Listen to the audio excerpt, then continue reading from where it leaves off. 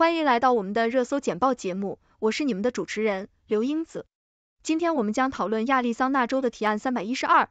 这个提案如果在十一月获得选民通过，将允许居民从二零二五年起申请年度财产税退款，补偿因无家可归问题而产生的费用。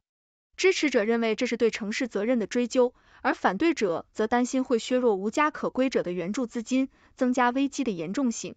接下来。我们来看看东区历史区的新标语揭幕仪式，这是当地社区为了经济复苏而展开的一项新计划。尽管面临疫情带来的商业关闭挑战，社区领导人依然充满信心，强调合作与支持本地企业的重要性。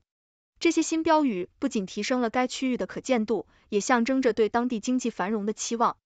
最后，今晚的 NFL 周一夜足球赛将由堪萨斯城酋长对战新奥尔良圣徒。这场比赛将在晚上八点十五分 ET 于 Arrowhead Stadium 举行。酋长目前保持不败的四比零战绩，圣徒则希望能打破这一纪录。观众可以通过 ESPN 和其他串流服务观看比赛，这将是一场不容错过的精彩对决。请大家继续收看详细内容。Yahoo US 报道，亚利桑那州的提案三百一十二可能会在今年十一月的投票中获得批准。这项提案允许居民在二零二五年开始申请税收退款，以补偿因无家可归者对私人财产造成的损失。该提案要求市政当局在未能及时处理公共滋扰问题时，向居民提供年度财产税退款。支持者认为，这项措施将迫使城市更积极地维护公共健康和安全，并为因政府无作为而受损的纳税居民提供公平的补偿。然而，反对者则认为，这将削减城市应对无家可归问题的资金，并可能导致对无家可归者的进一步惩罚。在俄克拉荷马城的东区历史区，新的横幅标志着重振计划的开始。尽管该地区经历了一系列商业关闭，领导者们仍与当地的黑人组织合作，致力于促进经济增长。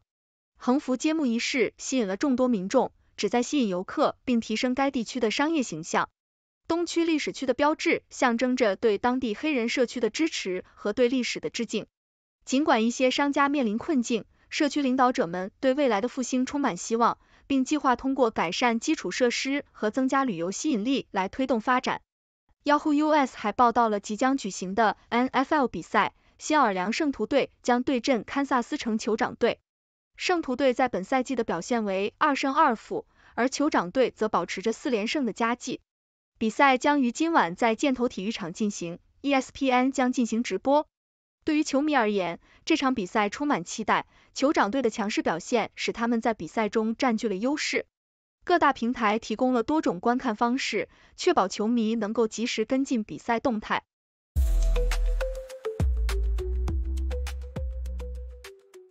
谢谢您的收看。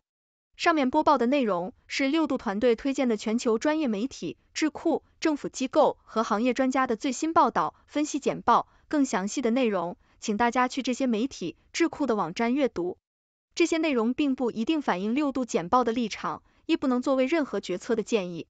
六度团队由专业媒体人、学者、科学家组成的独立新型媒体，大家可以根据自己的专业要求订阅各种简报。网址是六度 brief 点 com。您在世界任何地方都可以通过电邮收到六度简报。